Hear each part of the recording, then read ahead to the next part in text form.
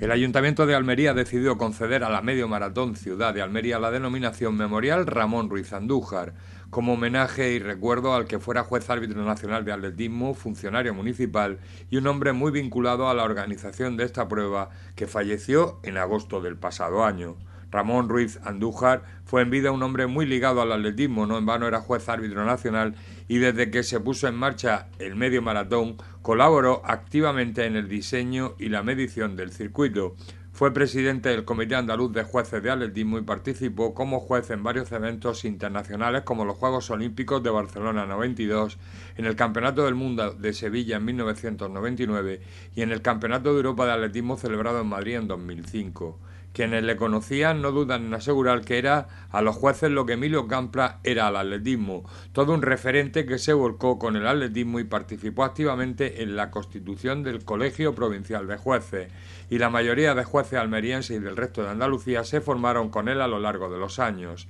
Era una persona a la que le encantaba su trabajo de juez, algo que hacía con gran rigor.